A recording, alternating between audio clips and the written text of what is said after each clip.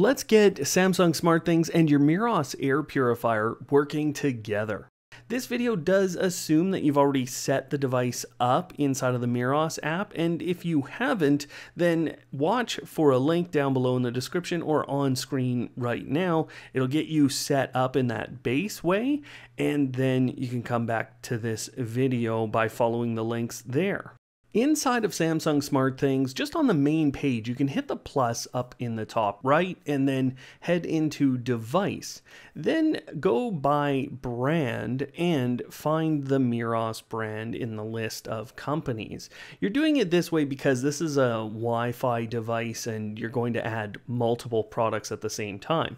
It doesn't actually matter what you choose on that screen for a type of device, but whatever room you place it into will bring all of your your Meross products into that room if this is the first time you're doing it.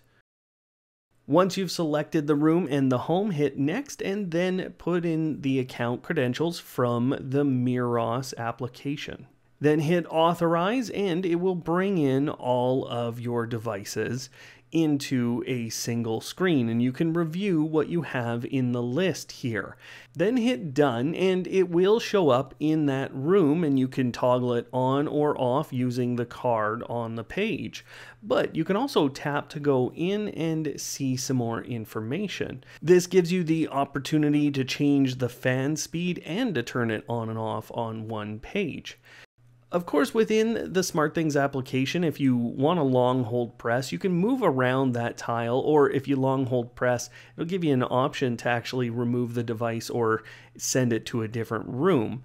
But back in the details page, we actually have some other tabs at the bottom. The first is the history tab, and you can filter by certain dates or certain types of activities. And the second is the routines. Now, when you tap to create a routine, this is just going to give you a demonstration.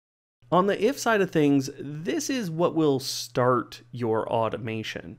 So whenever we choose something here, we're using it as a trigger. So in this case, if I choose on, then when the device turns on, we will start the rest of the automation. We also have options like on or off, so whether it turns on or off, or all the different fan speeds. And we do have some other options where you can use time delays. Now, if we head into the then side of things, these are the actions that the device can take if the routine or the automation is triggered. Obviously, you could be using lots of other devices in your smart home, and it would make sense to use an air quality monitor. You should notice that when you turn on the device, you have three options, which are the fan speed, and the off choice is actually what's called the sleep mode on your Meross air purifier.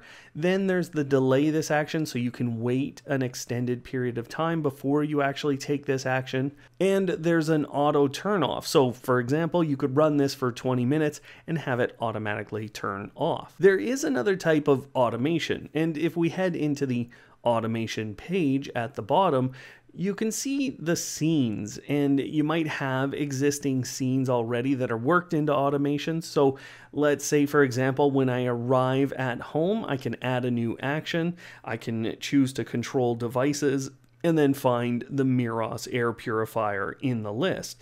Of course, again, I'm getting options to turn it on, turn it off, and if I'm turning it on, I can select that fan speed.